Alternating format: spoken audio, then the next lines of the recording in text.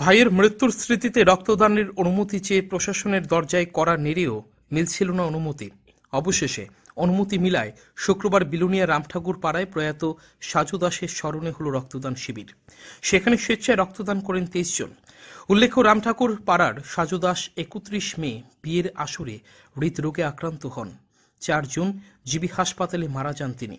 শুক্রবার তার অকাল প্রয়াণে পরিবারের সদস্যরা রক্তদান শিবির করার অনুমতি চাইলে বিলুনিয়া ব্লাড ব্যাংক জানিয়ে দেয়, শিবিরে তারা উপস্থিত থাকতে পারবেন। ছোট ভাই রাজু দাস দাদার শ্রাদ্ধ অনুষ্ঠানের দিন। রক্তদান শিবির করার প্রশাসনিক অনুমতি চাইতে গেলেই বাধে বিপত্তি। একবার থানা, সেখান থেকে মহকুমা পুলিশ আধিকারিকের অফিস এবং মহকুমা শাসকের অফিস হন্যে হয়ে ঘুরতে থাকেন তিনি।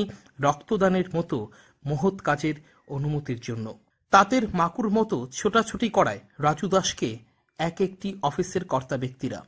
অবশেষে মিলল অনুমতি। কোভিড নাইন্টিনের সমস্ত নির্দেশিকা মেনে এদিন হল রক্তদান শিবির।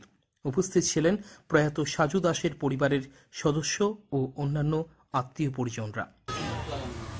স্মৃতিতে আজকে তার বিয়ের অনুষ্ঠানে আজকে মারা যাওয়া, বিয়ের অনুষ্ঠানের মধ্যে দিয়ে মারা যায়।